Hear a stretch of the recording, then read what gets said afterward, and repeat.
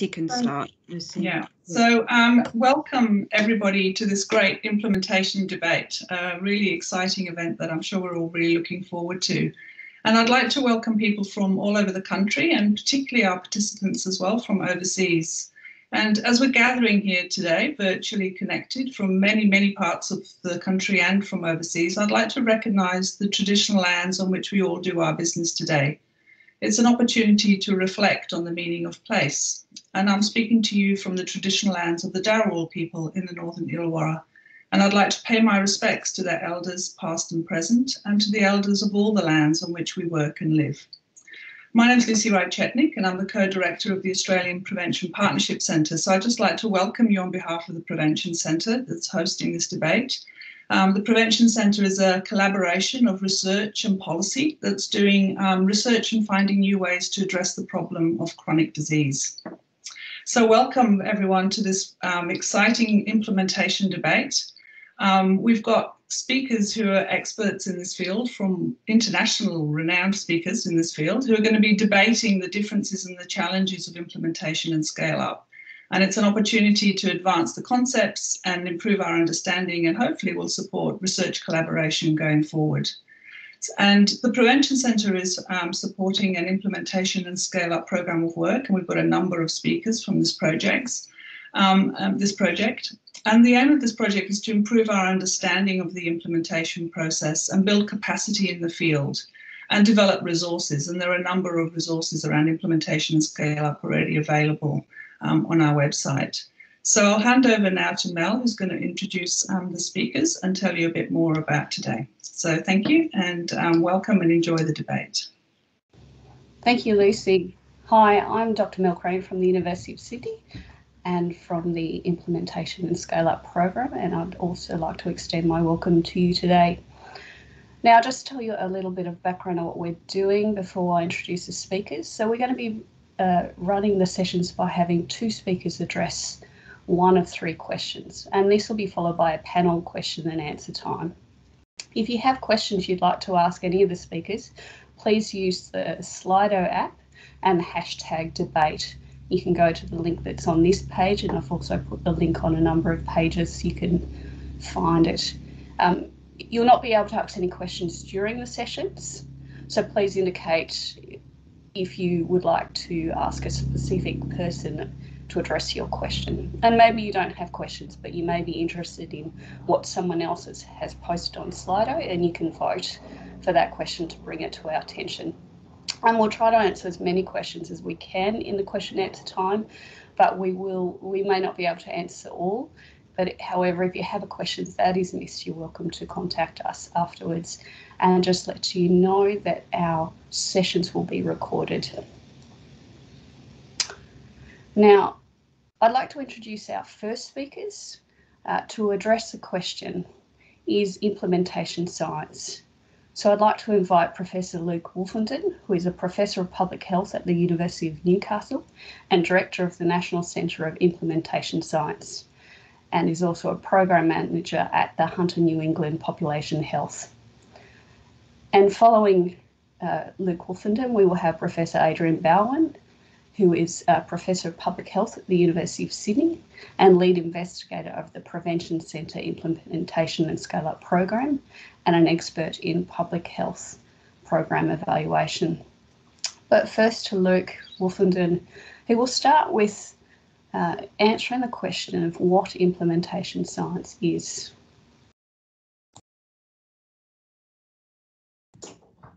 Thank you, Mel.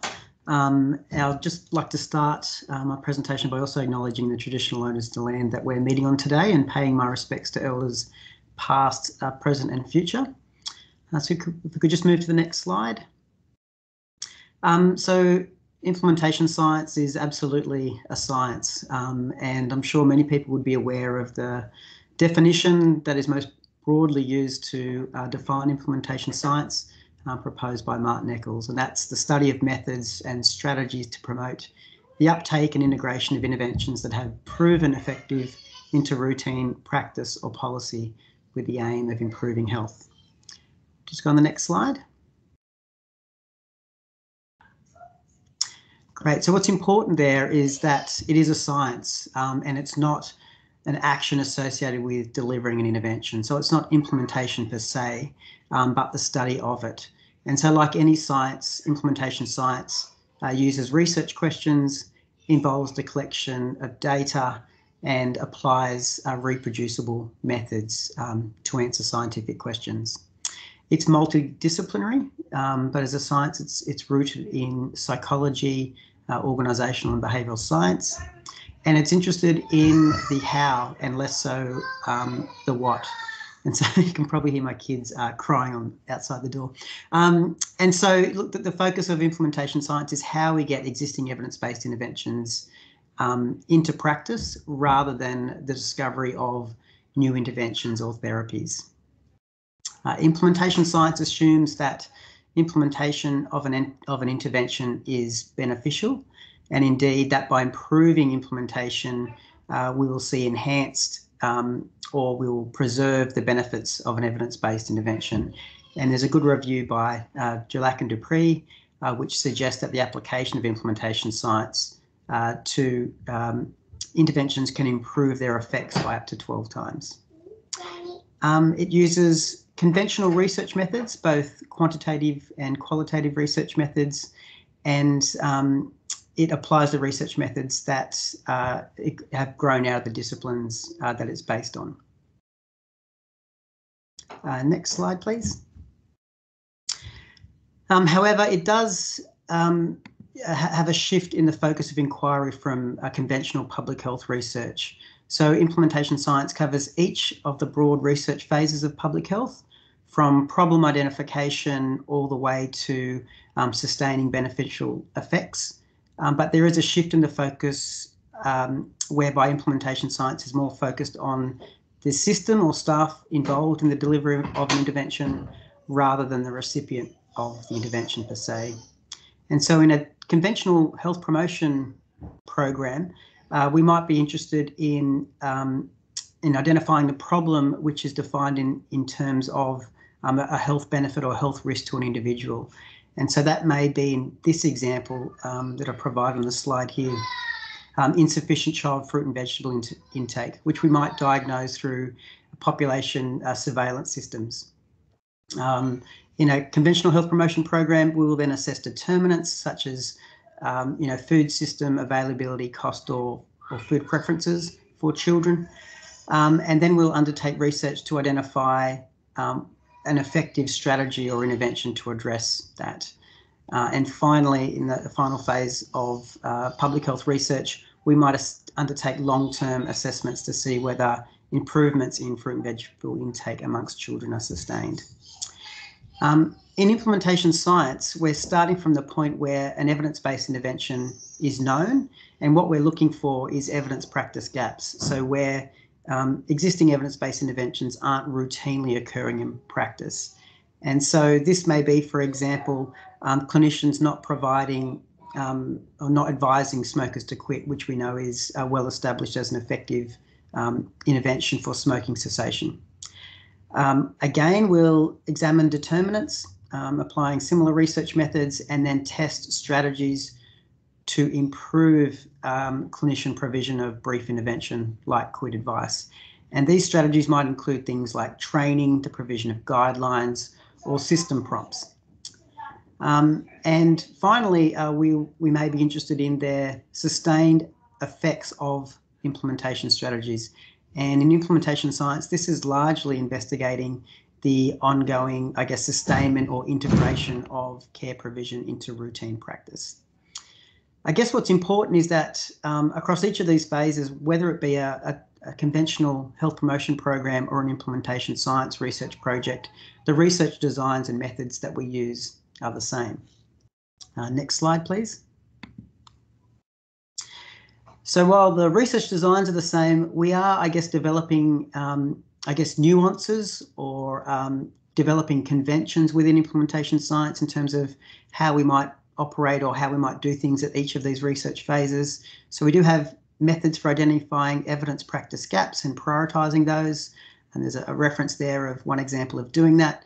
Um, in terms of understanding determinants of implementation, uh, implementation science have developed I guess, their own frameworks, which are largely um, frameworks which are consolidating uh, behavioural theories um, into, into single multi-level implementation frameworks. The most broadly or widely um, used framework is the CFIR, uh, which I've included um, uh, here by Laura Damschroder.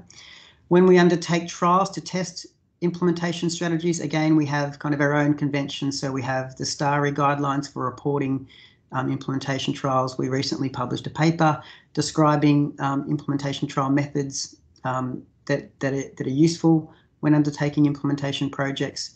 And uh, we also have our own measures or measures that we frequently use when we're reporting uh, implementation science research projects in terms of what outcomes um, should be investigated. So I guess I broadly just want to finish by saying implementation science is a science. Um, it is largely based on established methods, um, but we do have um, we have adapted those methods or, or developed our own conventions uh, for this discipline.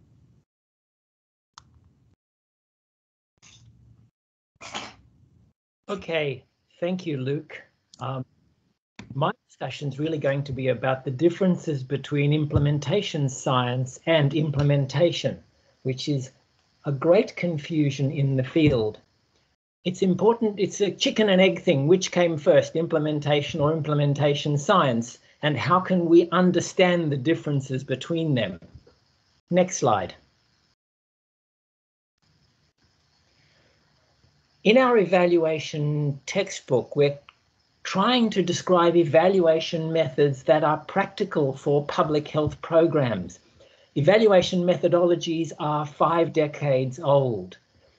Evaluation is really evaluating public health programs that are controlled by the stakeholders, by the policymakers, by the practitioners. And the purpose of evaluation is to inform them Designs may need to be flexible, you may need to be adaptable. Sometimes implementation really should take several years to happen, but sometimes stakeholders want to implement something in weeks or months. So you have to be adaptable.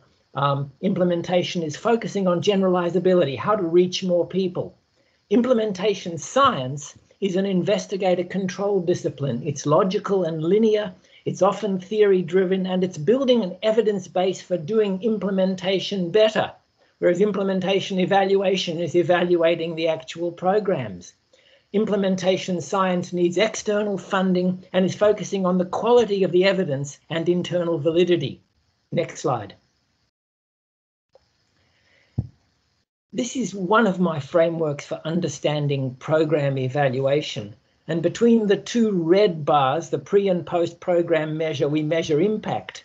But during that process of, of, of carrying out any efficacy or effectiveness program, we're continuously collecting information on program delivery. And that process evaluation is measuring implementation. And we're doing it in a range of ways, and we've been doing it for decades. Next slide. Another of our models is the so-called rocket ship model, which is where you move in program delivery from efficacy to replication and dissemination to reach more people. You're focusing less on measuring impact and more on measuring processes or implementation. So the concept of measuring implementation is well established in the program evaluation field. Next slide.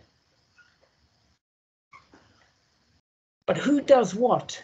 And this is a really important idea. Who funds programs at different stages of program delivery. Efficacy is predominantly researcher driven, but as you move to reach more people, policymakers become responsible for delivering the program because it costs tens to hundreds of millions of dollars to deliver a program across a whole system and finally to get to what we call program maintenance, which I call institutionalization, which may require a lot just to keep the program going. Next slide.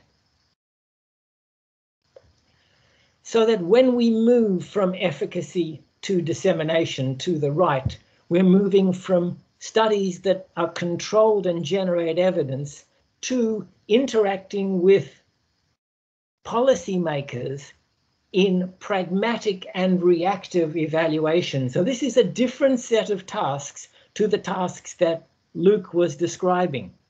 In fact, it's often an art form doing program evaluation as well as the science because what's implemented, how it's implemented, when it's implemented, and to whom and on what evidence base are variable. Some policymakers will just implement programs to a lot of people without a lot of evidence, and you've still got to follow behind and try and evaluate those things. So it's both an art and a science, whereas Luke is describing a very necessary evidence generating science. Next slide.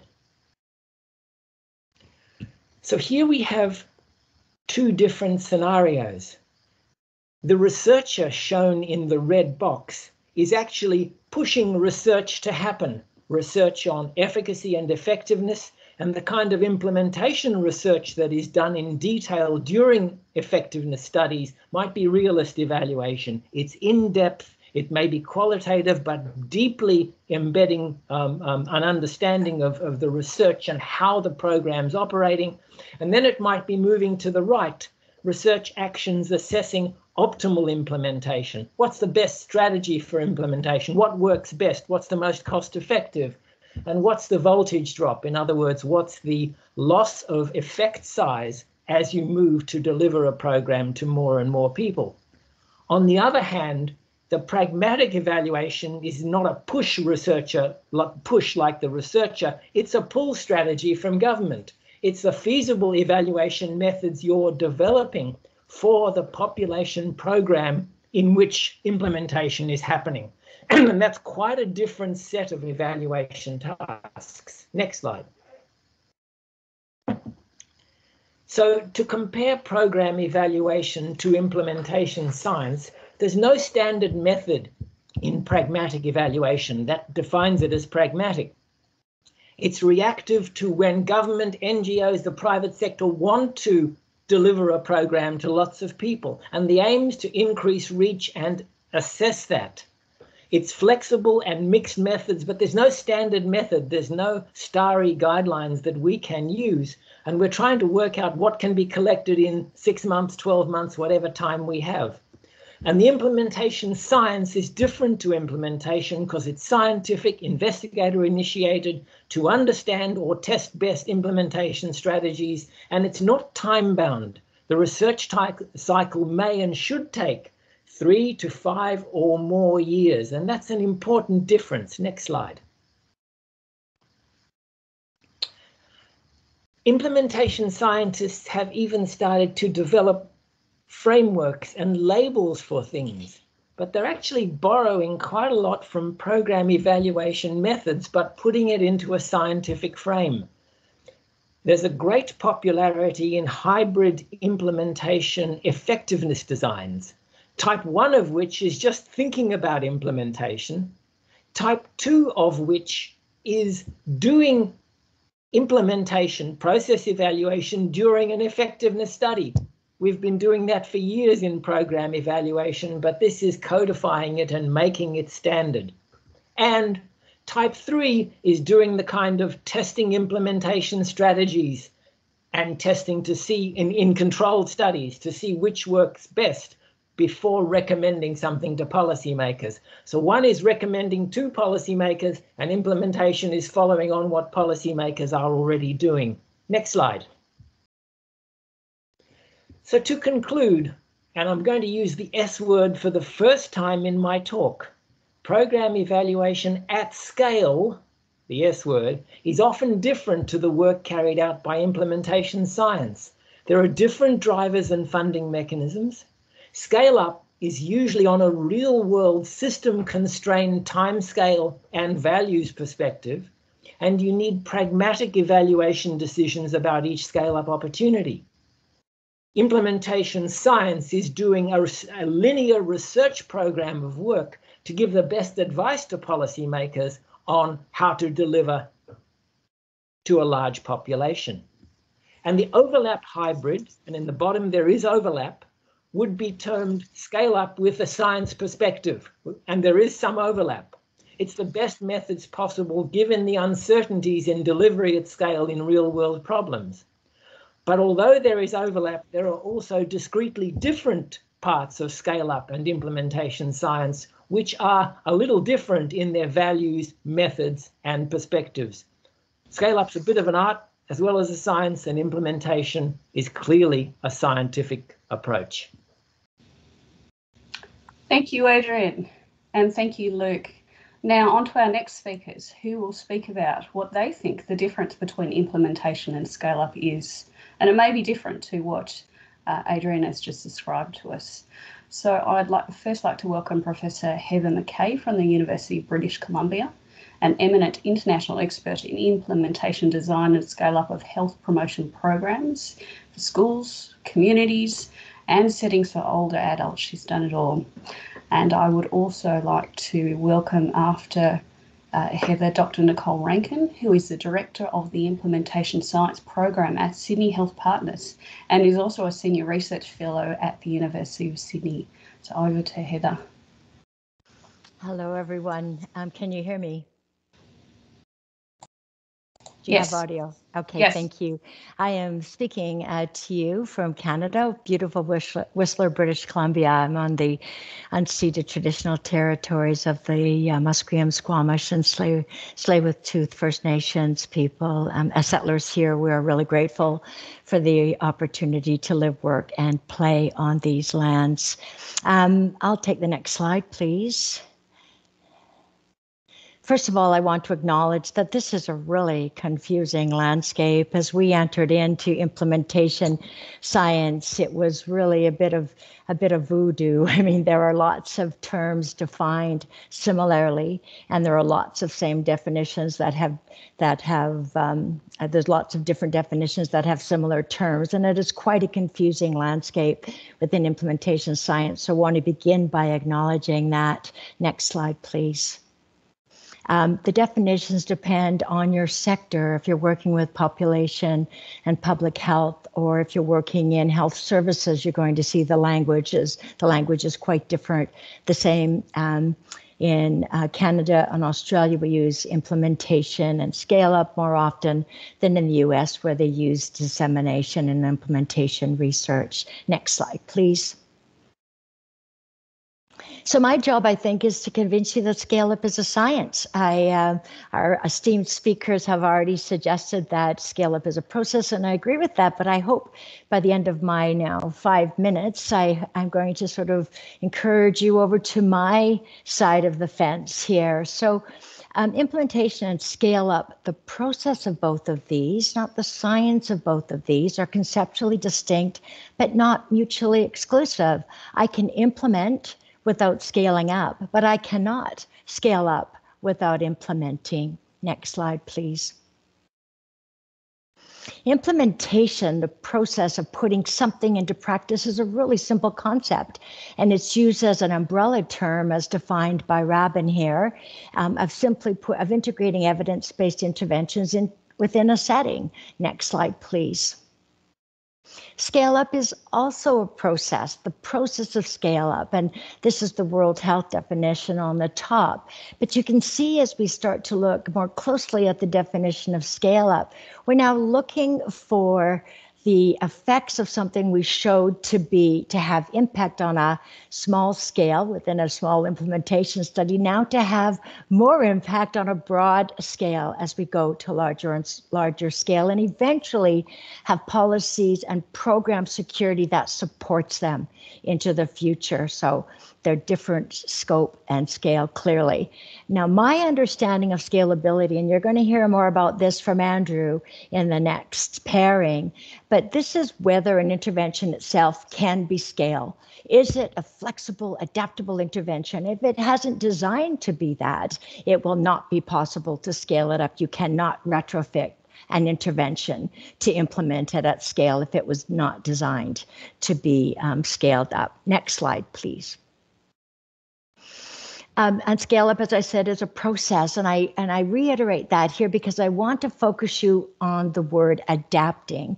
So as we move to scale up, what we're now doing is we're changing the delivery system. We're not looking at, for example, in our in our um, project called Choose to Move. Our activity coaches delivering the intervention to older adults. We're looking at organizations who are using implementation strategies and then um, and, and organizing to, to change their system to deliver the larger program. And they need to adapt in order to do that. So there has to be flexibility, but we want them to stay re, to retain fidelity to the intervention as it was designed. So this adaptation, fidelity, tug of war is something that lives in a big way within Scale Up. Next slide, please. Um, Leeman would suggest that scale up strategies have a classification of their own. And here again, we see this concept of now we're intervening with multiple setting, multiple actors, multiple organizations in broader systems when we go to scale up. Next slide, please.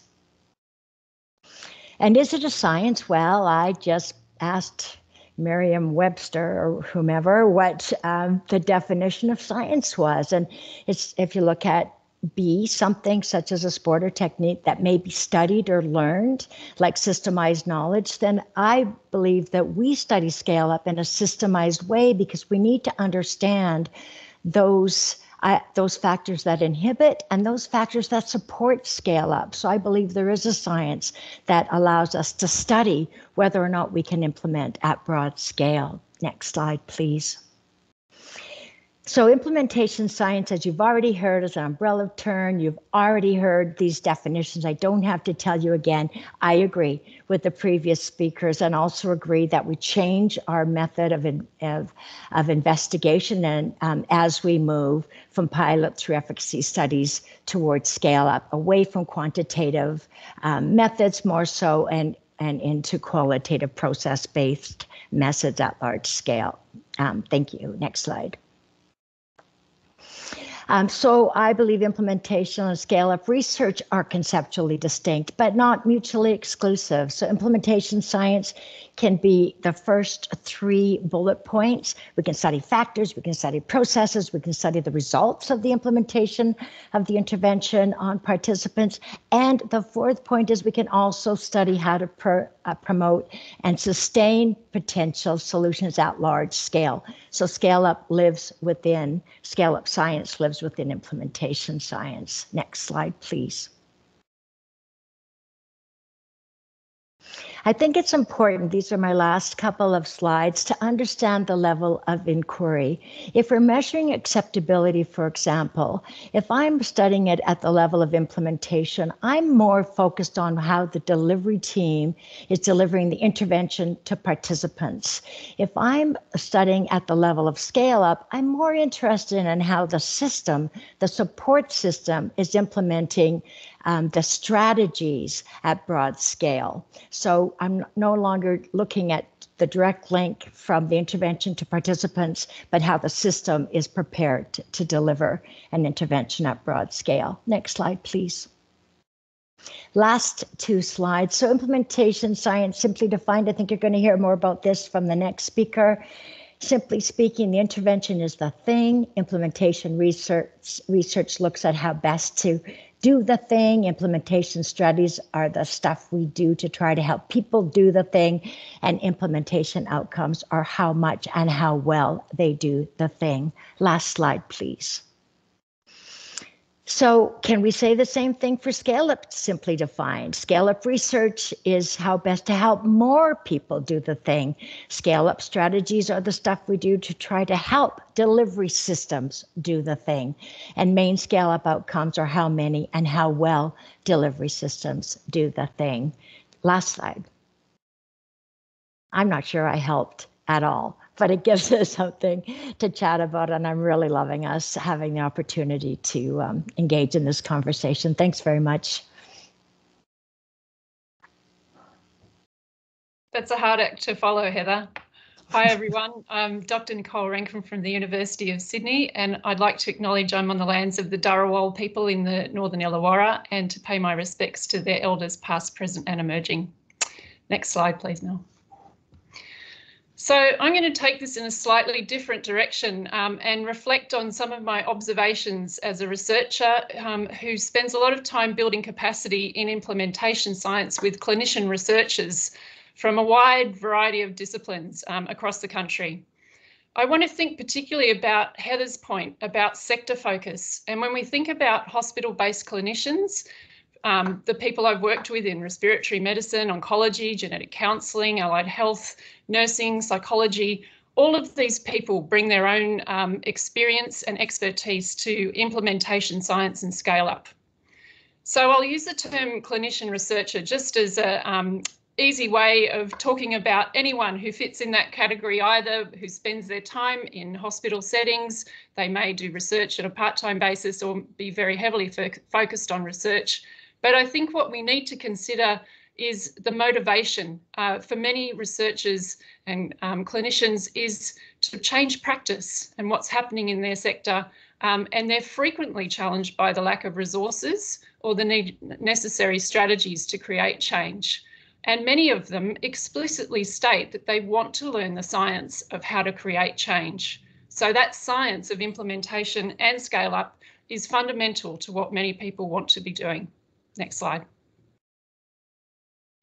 You've heard the definitions. I don't need to repeat them, but I do want to focus on the second point that implementation science focuses on healthcare professionals and organisational behaviours much more than focusing on patient outcomes, and that this is a, tension that we can we can look at uh, throughout the um, literature and also in um, the experience of clinicians.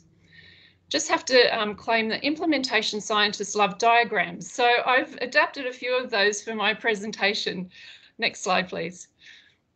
So when we're thinking about what motivates change, you'll be familiar with the behaviour change wheel.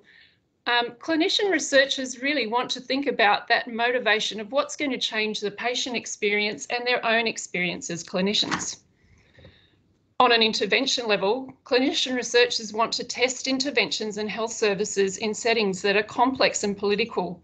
And so I definitely refute Adrian's point that implementation science focuses on the internal validity I think most clinician researchers actually are focused on the external validity of is this intervention going to work in my workplace and will it create the change that we need? Next slide. My view is that the clinical problem comes first. So rather than the idea or the public health program, Clinician researchers are motivated by the clinical problem and they want to unpack that and un understand that complexity in their own local situation and to use scientific methods then to bring about change and then move on to scale up. But first they need to identify what solutions have already been tested or trialled in practice and to develop, design or adapt interventions to make sure they work in that local environment. And using a systematic way of doing that is what most clinician researchers are interested in doing. Next slide. So when we take Curran's uh, step by step by step process that Heather just um, took us through, if we think about the thing that clinician researchers want to do, it's so important for us to consider what is it that they really want to achieve? Is it implementing a new model of care, a clinical pathway, testing a new treatment or a drug? testing a new diagnostic um, investigation, we need to start with that thing and consider is it going to work? Because if it's not acceptable for the clinician researchers who are going to use it in practice, we might as well not start the whole process. Next slide.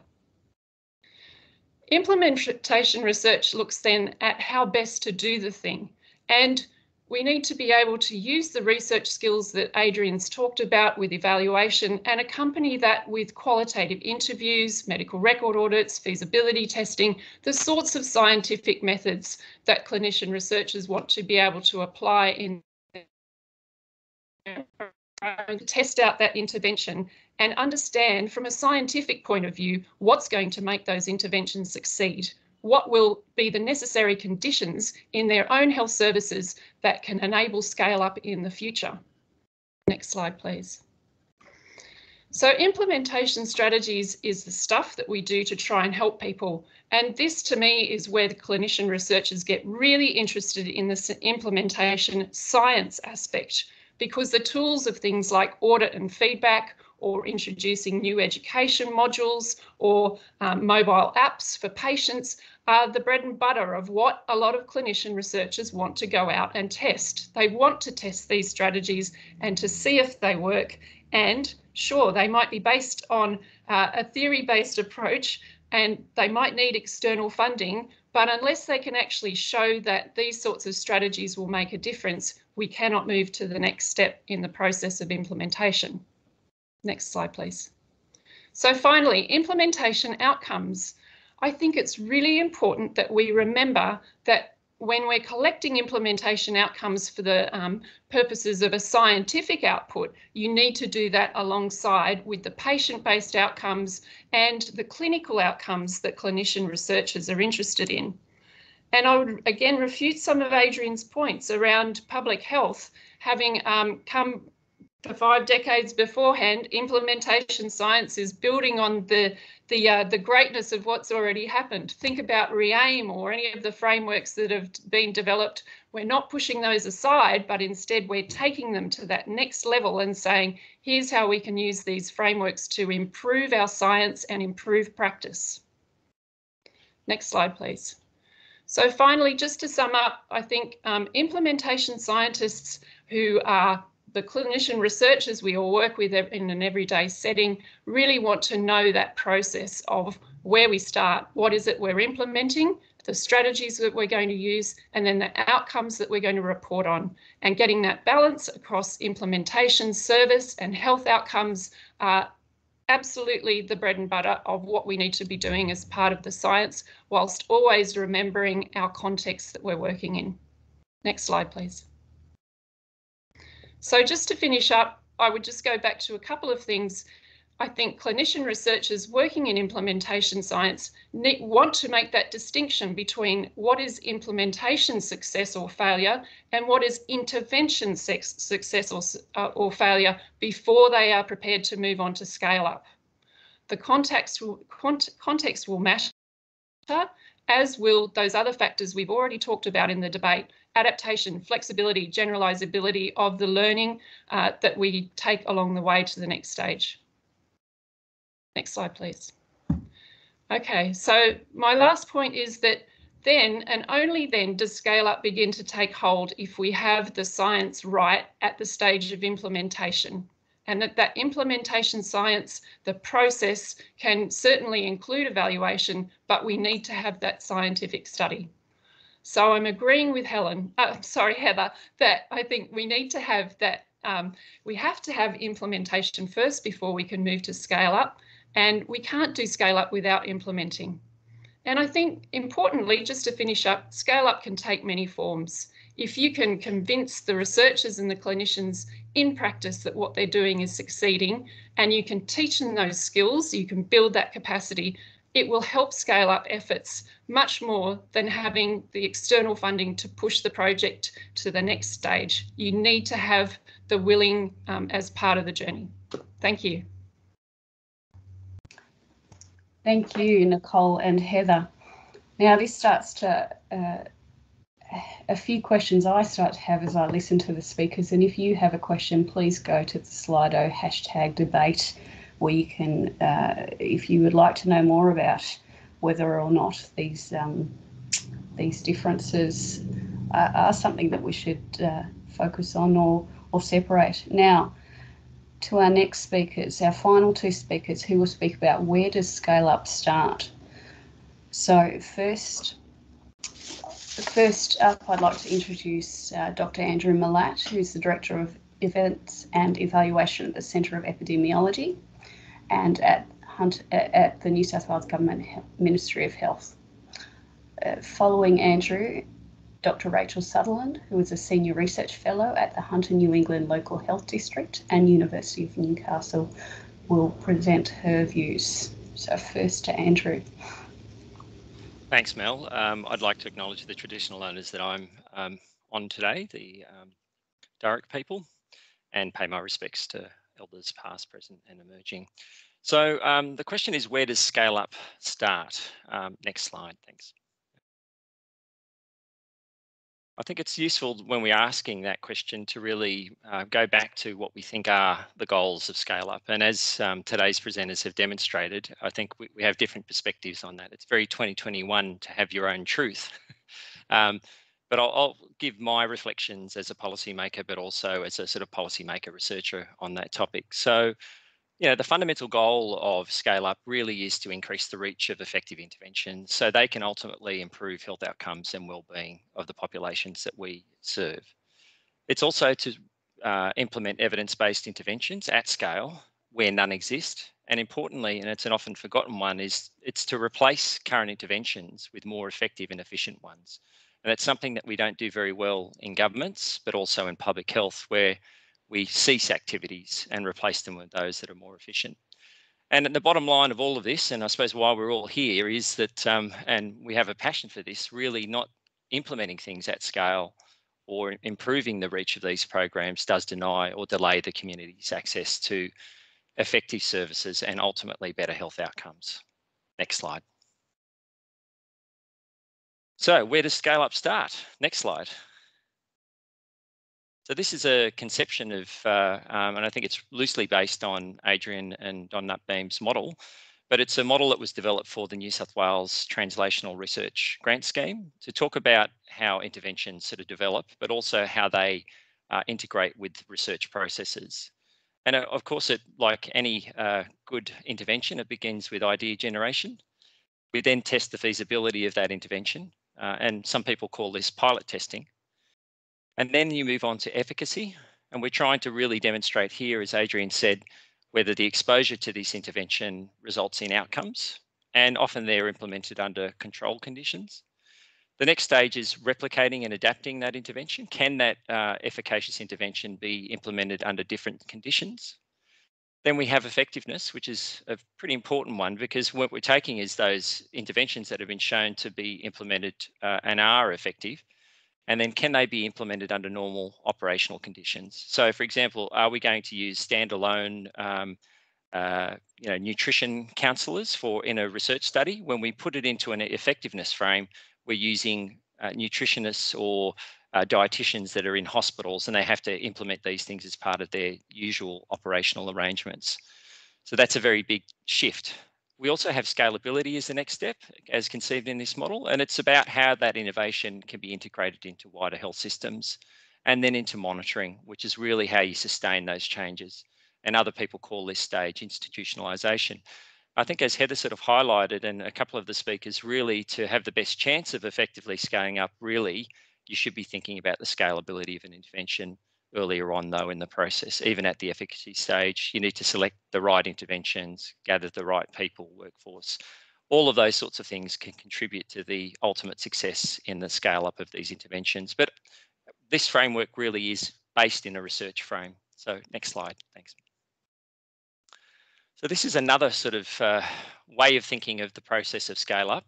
And it's um, drawn from a study, uh, well, it's actually a paper talking about examples of scale up in low and middle income countries by um, Jeffrey Smith and colleagues. And it's based on the uh, WHO ExpandNet um, model. And it talks about um, implementing interventions at scale, starting with piloting and advocating uh, and introducing it to new systems. The next stage is um, streamlining and building capacity. Um, with this stage, uh, we are focusing on many, but not all of the majority of districts. And then you've got mature expansion and harmonisation and institutionalisation.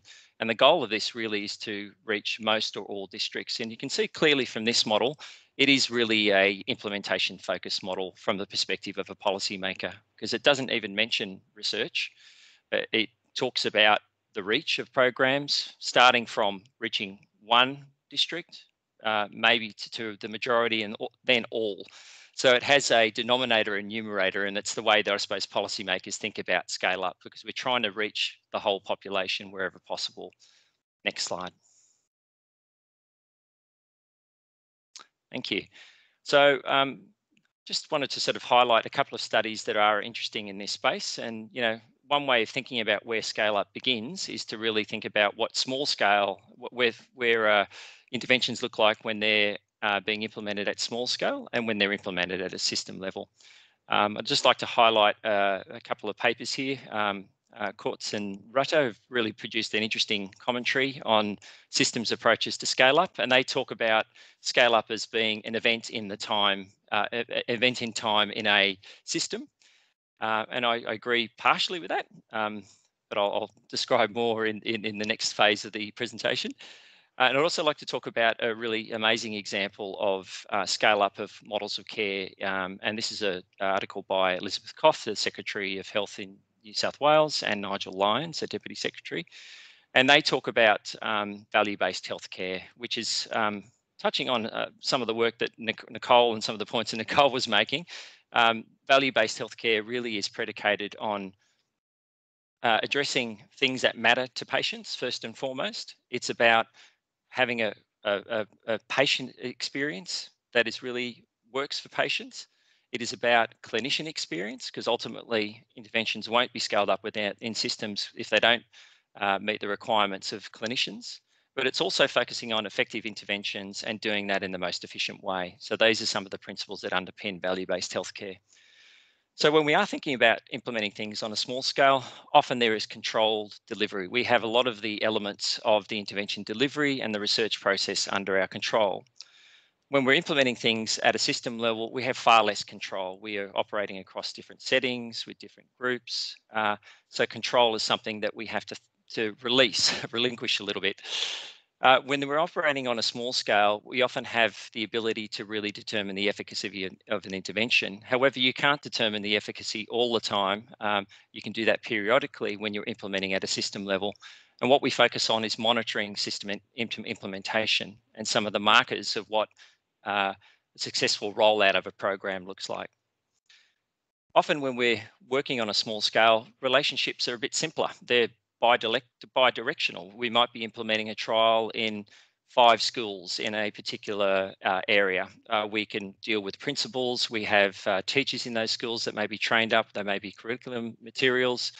There are often bi-directional relationships. However, if you're implementing things across a whole system like we are with things like value-based healthcare, you have dynamic relationships across the system. And those relationships are between clinicians and patients, for example. They're between clinicians and hospital administrators, between hospital administrators and chief executives, chief executives and service level agreements, uh, working with ministries of health and treasuries. So there's much more uh, depth in the dynamic relationships, and there are many stakeholders involved, highlighting some of the challenges of scale up in that setting. Often we're involved in single settings on small scale, and then we are involved in diverse settings, you know, different communities, different resource profiles, different size hospitals. Often we're focusing on individual capacity when we are operating on a small scale. And then if we ultimately want to change um, uh, systems and scale things up, we have to focus really on organizational culture and capacity often we are thinking when we're operating on a small scale around interventions and the types of things that we're doing it's very very focused on that. But ultimately if we want to change things at a system level often we have to leave the intervention to the side and allow the implementation arms of the organisation for example local health districts to determine the exact nature of the intervention with some fidelity. And we have to change systems to achieve those outcomes. And finally, uh, when we're often dealing on a small scale, we're really dealing with early adopters. You know, a small trial, we're dealing with the people that are very enthusiastic that want to join us, and they are either researchers, policymakers, and implementers. But when we're implementing things uh, across a whole system, the challenge is that, of course, early adopters will come along with us. There'll be a whole bunch of people in the middle who don't really care either way, and they will adopt uh, given the right circumstances. But you also have a, a proportion of people who resist change.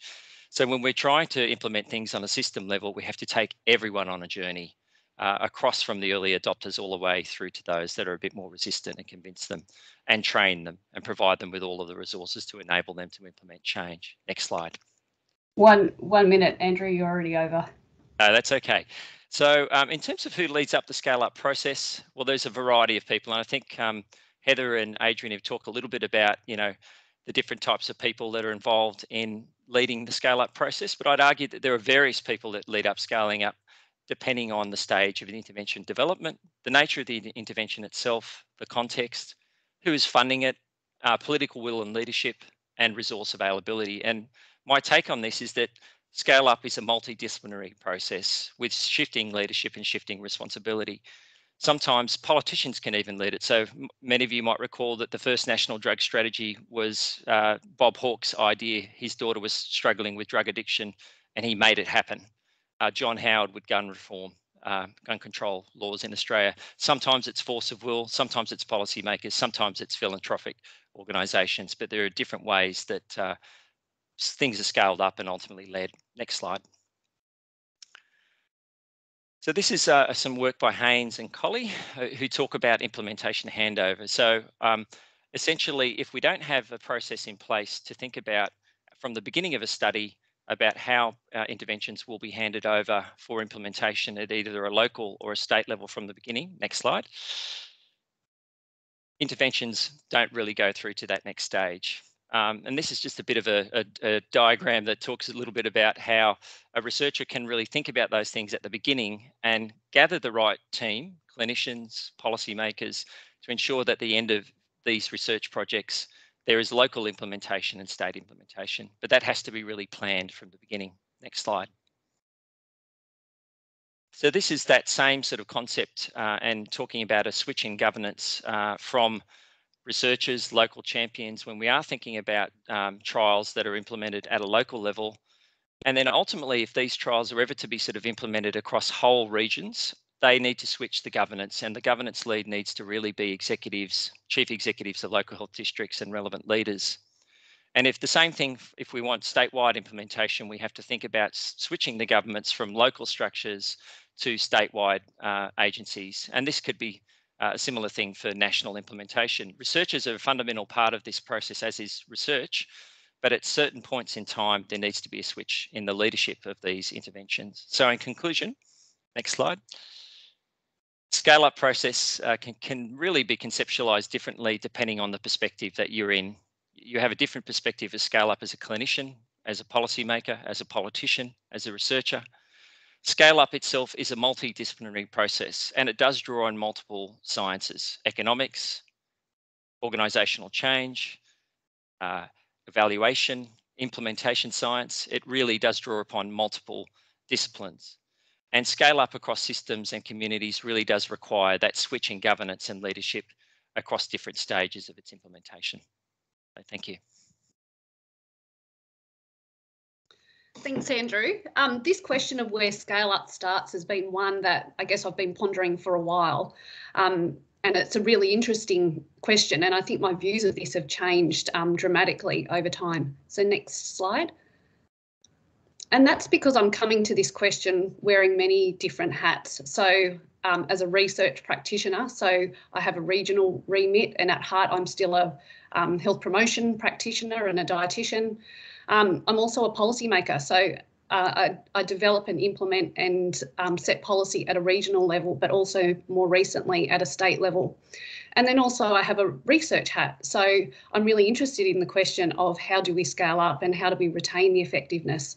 And I think my view of where scale up starts has differed from different perspectives. So exactly like Andrew um, spoke about. Next slide, please. So if we think about scale up at the definition by the WHO of taking an evidence-based intervention and then um, making that intervention reach more people, um, where does scale up start? So perhaps as a researcher, my role is um, in the idea generation, in um, developing feasibility, testing efficacy, um, and then um, the reproducibility and adaptability of that. And traditionally, as a researcher, I thought scale up occurred in somebody else's domain and it wasn't my domain. Next slide, please.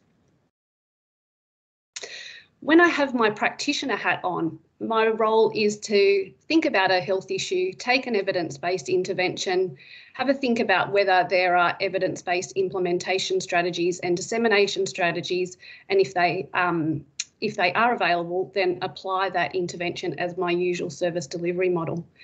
If those evidence-based interventions aren't there, then my role might be to um, do some testing or some evaluation around some intervention and implementation and dissemination strategies.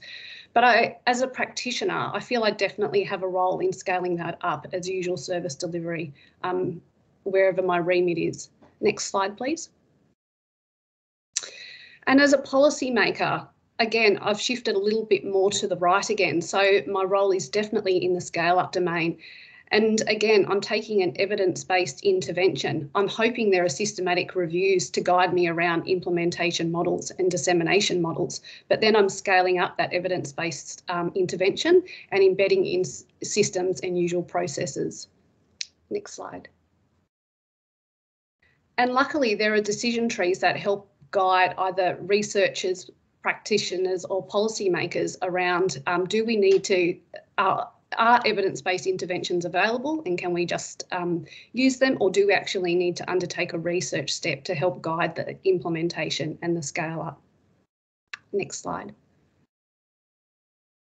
So this all sounds great um, in theory and that scale up occurs towards the end of a translation phase. However, the above processes really rely on the generation of evidence-based interventions that are suitable for scale up.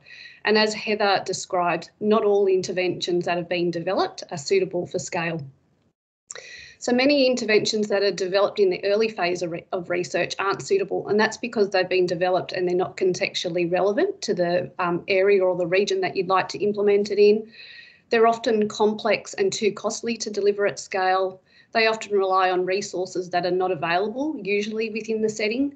Um, they may not be consistent with usual systems or processes where they need to be embedded. Often they're not co-designed with the end users or the stakeholders that need to use them in practice, um, and they've never been developed with scale up in mind. So as a result, few of our evidence-based interventions um, that are developed in the early phases of research are never scaled up and this forces policymakers and practitioners to select interventions that require significant adaptation to be used um, at scale and within the real world, and that policymakers and practitioners have to end up scaling up interventions without a real evidence base. So next slide, please. So unfortunately, um, the limited research that has been done on scale up and how effective that is in practice um, really confirms that what we're doing and how we're scaling up probably isn't having the effect that we'd like it to have. So for example, there's very few interventions that are scaled up and evaluated.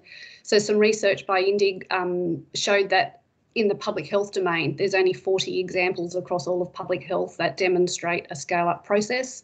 And another example is in the Lancet um, there were 16 examples of physical activity interventions that had been taken from an efficacy right up to the scale up phase. Um, when we look at scale up research, there's very few that follow, follow that comprehensive pathway like we'd like them to. So they've been tested, then they've been taken into the real world, and then they've been scaled up. And then when we have a look at um, reviews of scale up, so where they have um, looked at interventions from efficacy all the way up to scale up, we see that once they go into the scale up domain, 100% of those interventions require adaptation to actually being taken into the real world. So as a result, we end up with ineffective interventions. So for example, there's been some research done in obesity, physical activity and nutrition, and we can see that there's a real scale up penalty. So we're not preserving the intervention effects that we've had in the early days when we take them to scale, but by as much as 75% of interventions are losing um, their effect. And ultimately, this is a waste of our really scarce health resources. So next slide, please. So is this occurring because we actually think of scale up much too late in the piece? So my original thoughts of where scale up occurred later in the piece, do we actually need to be thinking about scale up and scalability right from the outset? So in that very early research phase. Next slide, please. So I, I guess our newer models of scale up um, take scale up from from being um, at the end of a translation phase to actually demonstrating scale up is a process or a pathway um, and that there are many different pathways to scale up. So there's this comprehensive pathway from development, efficacy testing, real world and dissemination, but ultimately there can be a number of different pathways. Next slide, please. And this example from New South Wales, the childcare munch and move process, is a really um, great example of following a comprehensive pathway. So over the um, span of about seven to 10 years, um, an intervention has been taken from that efficacy phase in an RCT. It's then been scaled up into, I guess, a real world effectiveness trial in Good for Kids. And then a dissemination trial to evaluate implementation and dissemination uh, models to then being picked up statewide by policymakers and rolled out across um, childcare services across New South Wales, where now we have approximately 400,000 children in formal care, um, I guess, that are benefiting from this evidence-based intervention. Next slide, please.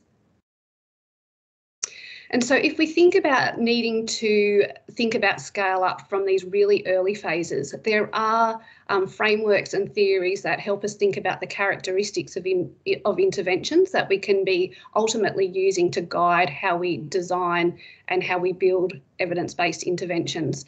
And so research shows us that if we adopt these types of characteristics, then these types of interventions are more likely to be adopted and are more likely to be taken to scale.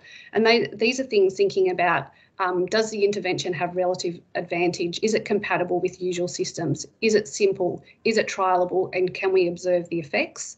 And similarly, in the ExpandNet WHO um, acronym, they use the acronym um, correct to look at the attributes of an intervention. So, is it credible? Is it observable? Is it relevant to the context that we're going to implement it in? Does it have relative advantage? Can it be installed easily by policymakers and within systems?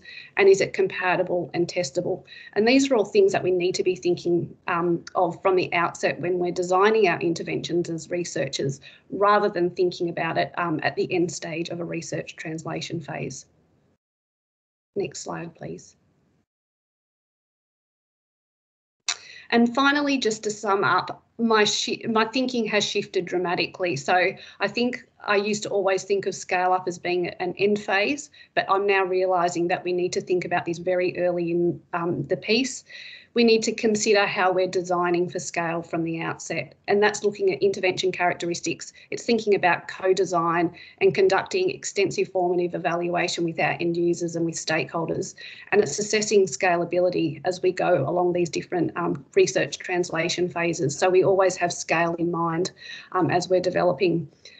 And I think I lastly just want to finish that if we're thinking about where does scale up start, maybe we also have to think about where does scale up end. Is that when it's institutionalised? Is, is it when the intervention is self-sustaining or is it when something's commercialised? But I think that end piece is just as interesting as the beginning bit of where scale up starts. All right, I'm going to stop sharing now and bring you bring all the presenters up. Thank you, everyone. I'm not sure about uh, the audience, but I'm I've now found a whole lot of ideas popping around in my head. Is implementation science the same as scale up art? Is should one go? Should the chicken go before the egg? As Rachel just uh, uh, alluded to, uh, which Adrian also spoke about. So, over to our first questions for the from the audience. Um, and I, I, probably will start with this one. Should these differences in definition and different ideas that the six presenters uh, have raised, should we hope to bring these together to form one concise um, definition, one idea of what we think implementation scale up is? Um, open to the speakers.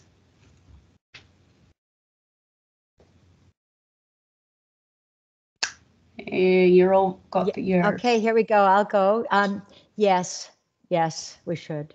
Yes we should. We should absolutely do that. And there's been some efforts to do so by coming up with a common taxonomy but i think you know cultures are difficult to shift. And i think that um, the terms and, and and so on and the definitions and our understanding of them are, are really steeped in the different cultures. I know that mental health and addictions approaches implementation science quite differently than than child you know uh, than child health research and so on so um, if, if, we could yes but i think the sectors uh, which publish in different journals and very sector based journals have to be talking across implementation and scale up um, science well, I just get a reflection on that. I think one of the um, the challenges is that you know, scale up and implementation science is multidisciplinary. And then often when you have people coming from different perspectives, as Heather mentioned, um, inevitably you're going to have a mixing of those ideas. And really what prevails is the challenge. Um, you know in the united states they have a different view as heather highlighted in her presentation of what constitutes um, scale up and uh, implementation which is uh, different from a sort of canadian slash australian version but look it's a battle of ideas but at the end of the day i think the objective at the end is the most important thing uh, that we're trying to increase people's exposure to effective interventions and um, get a get good health outcomes as a result of that. Um, but there are many ways to do it, and it is a challenge. And I, I too, like Heather, wish that we could have some harmonisation of terminology. And I think Heather is and Adrian and everyone around uh, today's presentation have tried to do that by publishing some papers to bring around, as you say, a, a common sort of understanding and taxonomy. But we'll keep on trying. Anyone else want to answer that question before I go to a new one? Oh, okay, uh, another question is, how do we embrace the complexity and build a rapid learning system? So a few people have asked about systems thinking and how that fits into all of this understanding. Adrian program evaluation, when we're looking at implementation at scale up, is really very analogous to complex program evaluation. In other words, when I'm describing not the controlled part, the science part, but the the more practice linked program evaluation, it can vary a lot. It's embedded in different systems. You use different approaches to scale up something in the education system or the sports sector than you do in the health services or a health system or a rheumatology clinic. So that's actually quite a different set of perspectives. But because it's embedded in systems, the real world practice of implementation is system level and system level evaluation, which is less codifiable than the science generating evidence on what to do. So we need to go back to the science and make it better so that we can actually do those things better. But in practice, we're often left with complex systems. Yeah, Heather.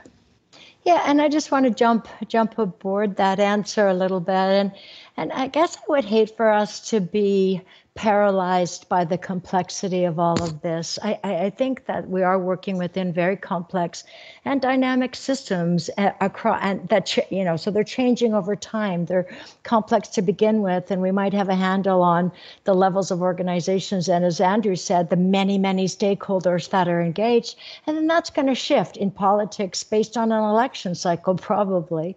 So, but as researchers, I think we need to do the best we can and not be paralyzed by by understanding perfectly the complexity of a system to understand the factors that affect implementation and scale up. All right. Unfortunately, my screen keeps jumping, but uh, a question. Uh, actually, this is a question again for uh, Heather, and maybe others have got an idea too. What do we need to be considering uh, to avoid retrofitting. When we think about scaling up at the beginning, how do we ensure that we don't retrofit?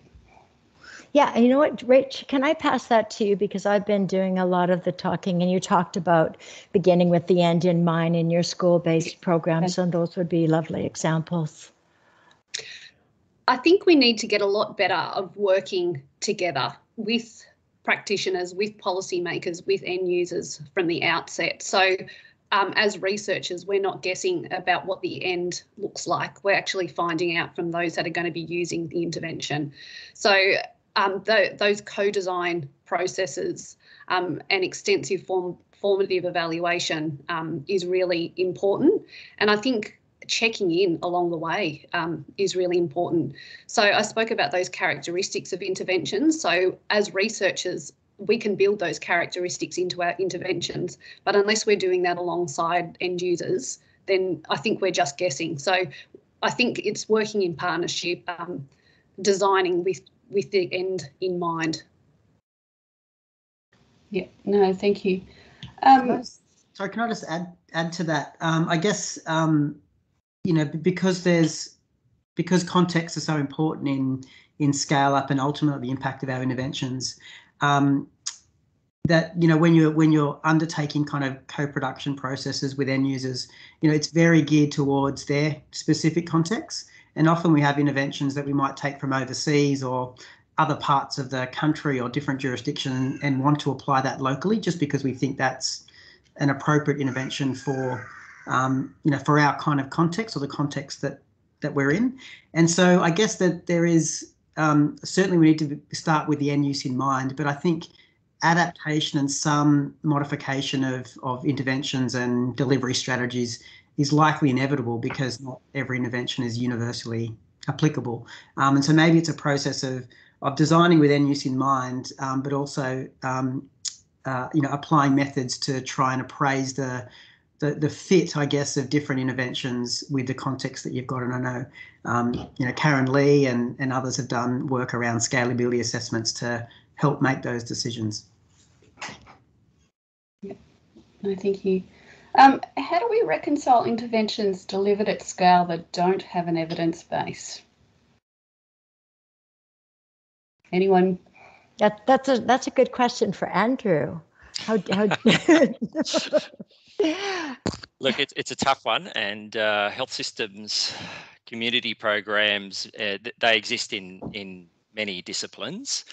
And look, they can be very challenging to uh, put to the sword.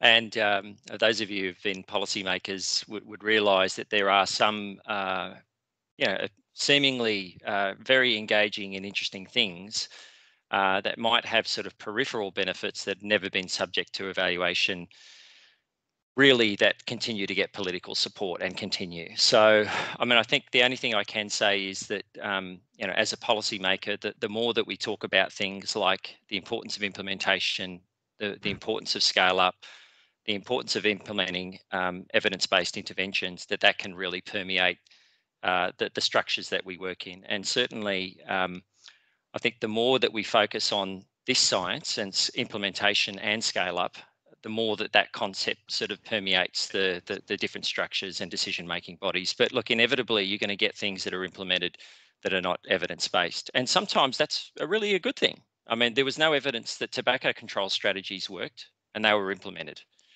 So if we were to wait for evidence um, all the time, we wouldn't have very much public health action. We didn't necessarily look. We might have known uh, about the effectiveness of seatbelts, but we didn't know what the impact would be when they were scaled up uh, gun control the same. So look, I think you know sometimes you have to be bold as well. Um, but unfortunately, when you are bold, you often uh, will put things in there that are not evidence based. So I think it's the case of de deprioritizing those if we can, but it can be challenging. Oh, thank you. Um, question here: If scale up is about efficacy and reach, how should we consider scaling up an implementation in our increasingly diverse, uh, culturally diverse society?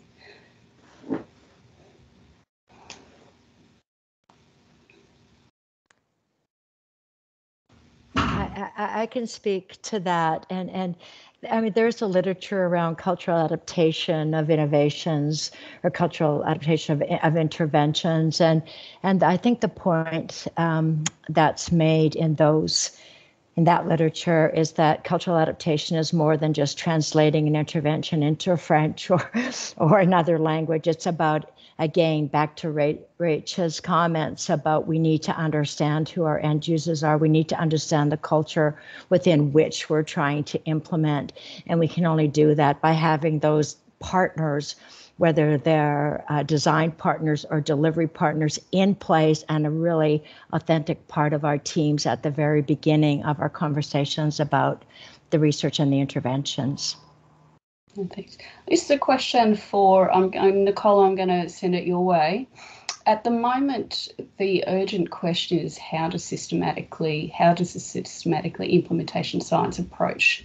Um, how do you do that in the urgent pandemic response, besides throwing resources at it? Ah, good question. I, I guess um, much of what we're doing is um, based on many years of evidence already being gathered. So if you think about some of the work that um, Professor Julie Leask's been doing around communication of how people deal with vaccination, we, we need to draw on um, those existing examples and then to be able to adapt them more quickly. And I think um, this is partly it's part um, about partnerships and making sure that um, the the academic research that's gone uh, beforehand is actually brought to the fore. Um, and I, appreciate that can be challenging when there's such an overwhelming um, amount of evidence that's focused on um, the epidemiology and the modelling of the disease, uh, and that people are very concerned about that. But if we can actually look at some of the strategies that have worked in other contexts and in other situations, um, then we need to yeah, be able to draw on those immediately rather than uh, leaving the communication piece to one side. Thank you. Um, uh, anyone else, or I'll, I'll go to the next question.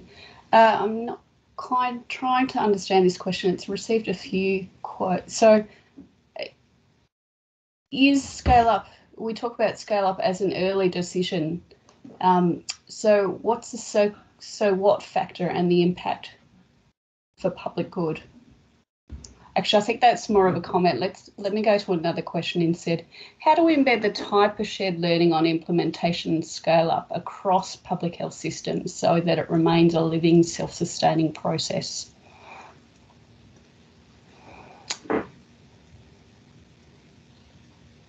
Um, I mean, I'll just add, I'll add a couple of my things. Were you going to say something, Andrew? No, no, go for it. Go for it. I mean, I, I think I think we need to um, be better at developing communities of practice, uh, not not just amongst researchers, but those that are responsible for implementing programs and scaling them up in practice. Um, I, th I, think there are certainly sites that do that very well, but um, in the broad, there's plenty of scope for um, shared learning and to advance the science quickly through a more collaborative ways of working together, um, of building the evidence base and ensuring that that evidence kind of evolves um, over time, both in its use and in its practice. In sorry, in its generation and its practice. And just to follow on what uh, uh, Luke said, I mean, I think the communities of practice are really important. Um, also, uh, an organisational commitment to scale up processes. So, for example, value based healthcare is one of the four strategic priorities of New South Wales Ministry of Health. So there's a clear statement to the system that we are interested in taking effective interventions and models of care and scaling those up across whole systems. And um, communities of practice are really fundamental in that. So uh, clinical networks are engaged in that, clinical champions. There's feedback through systemised measurement of clinician experience of implementing interventions.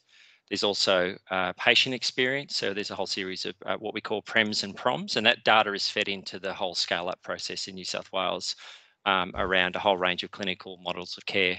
And all of those interventions are actually uh, co-designed uh, between researchers, uh, policymakers, and um, clinicians and practitioners on the ground. So even before these uh, areas are identified, there's a co-design process. So I think there are um, promising signs in some parts of the system, and you know, New South Wales is a great experiment in that. Um, but yeah, that community of practice and engagement, and something that we've been doing in our team has been providing a lot of training around evaluation, program logic, scale up science, um, all of these things to really build the system's capability to successfully uh, reflect on its own implementation and think about um, how ultimately you would scale something up in practice. Uh, just a couple more. I'll just take two more questions before we finish. Um, and the first one is what's the role of pragmatism in implementation or scale up? A few people spoke about, Adrian, maybe you want to answer this. Spoke about pragmatism. Pragmatism is required in implementation practice, not in implementation science, because implementation science needs clear rules rules for both qualitative research or quantitative research, rules for standards on research quality, but, but implementation practice is where pragmatism is required, where flexibility is required by context and by different settings with different kinds of measures, with different kinds of evaluation budgets and capacity. Yeah, no, thanks for explaining. And and last question here is uh, bold interventions are what's needed to make big impact on NCDs. What's the harm in trying interventions without efficacy? When there is low risk of harm.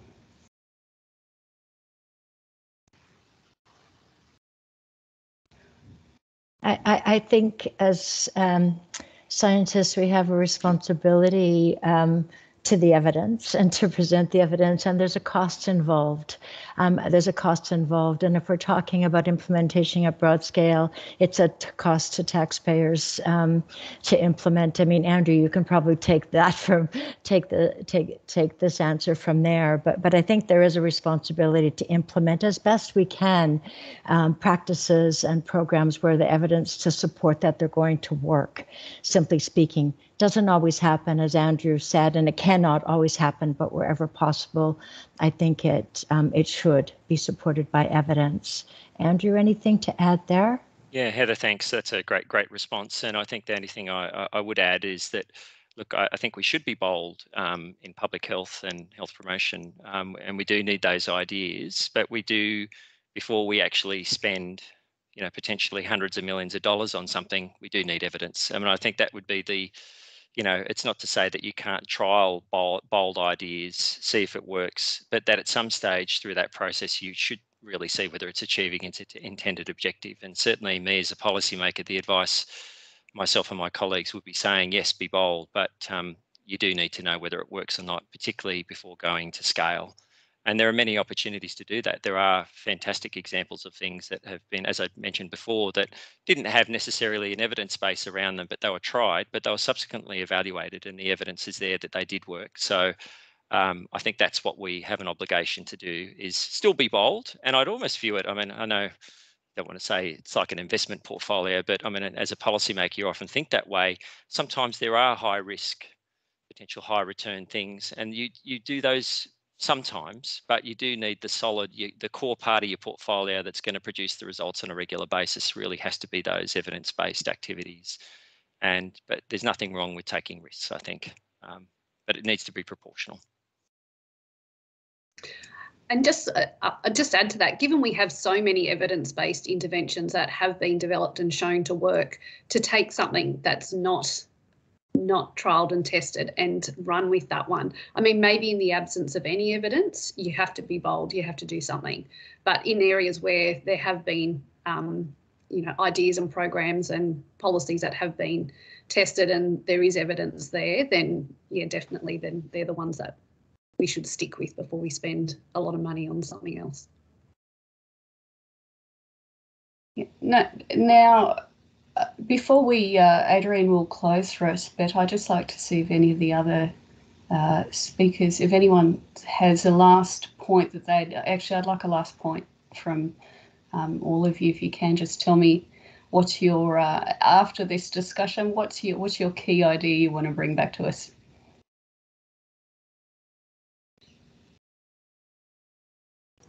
I'll get us started. Uh, that seems to be my role.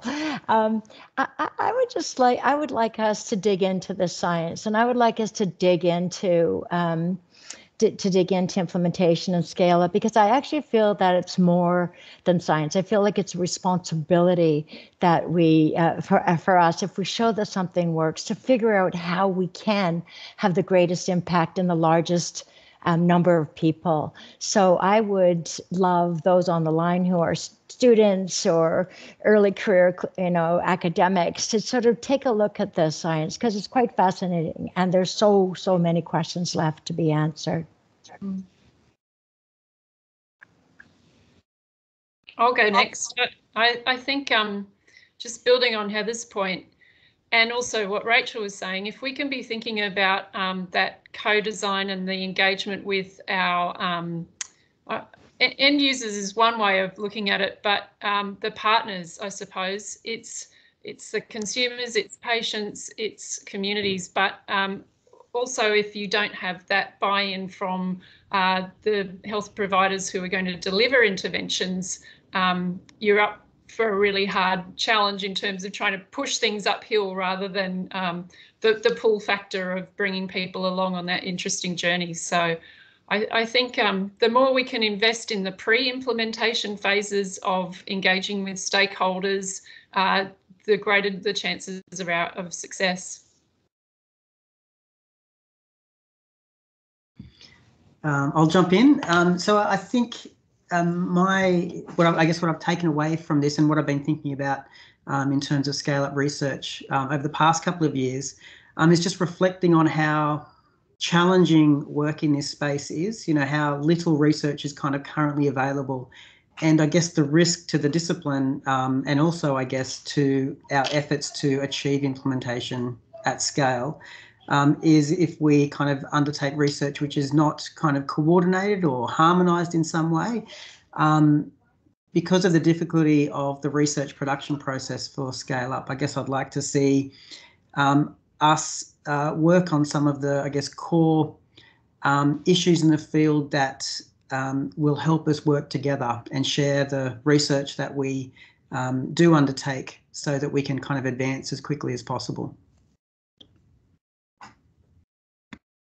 Like to agree with Luke as well, and just to add that I think um, you know, forums like this are really important for us to lay our cards out on the table. And when Adrian invited us, he was open to us sort of having different perspectives on this. But I think um, what is clear is that, you know, as a field, um, the more we talk about it, the more that we actually train people in this space, the more that we are getting people to think about potential collaborations in this way will mean that we will get uh, to reorient the system to focus more on the types of research that is optimally beneficial uh, for policymakers to adopt it. And it's not just policymakers, it may be things may be commercialized. It may be there are many sort of pathways to scale up. And I think we just need to be flexible in our thinking about that. And also, and not forgetting that the science is really important throughout that process. And uh, scale up by its very nature is multidisciplinary. You need economists, you need people who have cl- uh, clinicians at the coalface, you need uh, consumers' opinions or patient views. You need uh, information from multiple sources.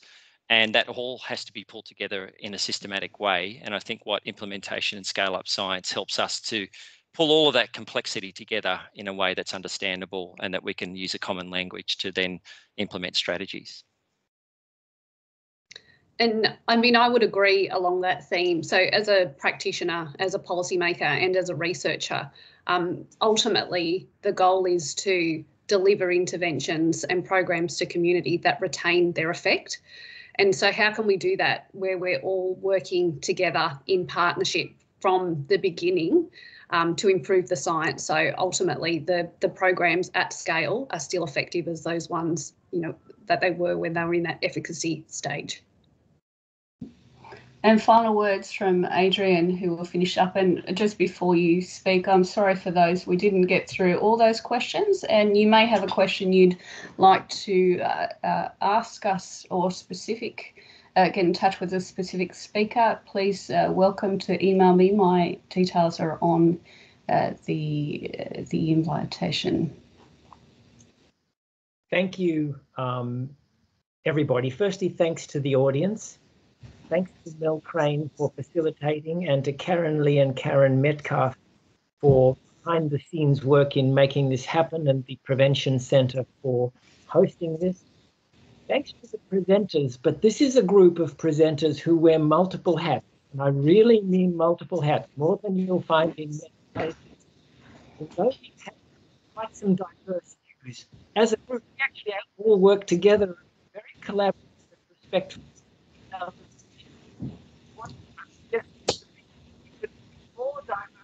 presented today, much more diverse.